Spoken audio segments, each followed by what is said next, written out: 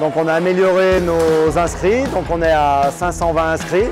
On est très content puisque la météo n'était pas spécialement euh, favorable aujourd'hui.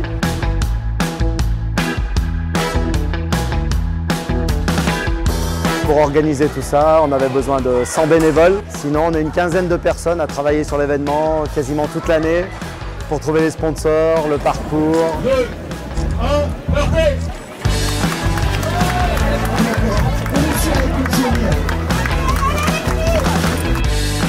C'était l'occasion pour nous de faire connaître le syndrome d'Angelman, euh, syndrome dont, est atteint mon petit, euh, et ce par le biais de l'association que nous avons créée pour lui, l'association Il était une fois un ange, euh, qui permet justement de faire des courses solidaires et de relever des fonds pour la recherche.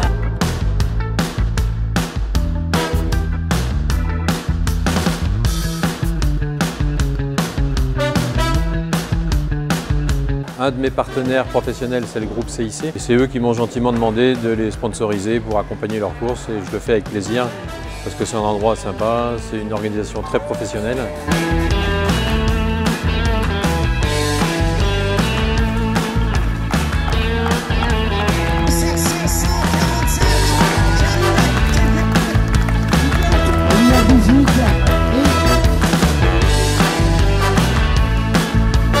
Bah, j'ai euh, fini premier.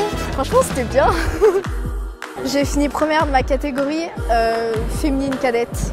Il y a mon papy, il a fini premier de sa catégorie. Bonne journée, j'ai couru avec ma fille en plus.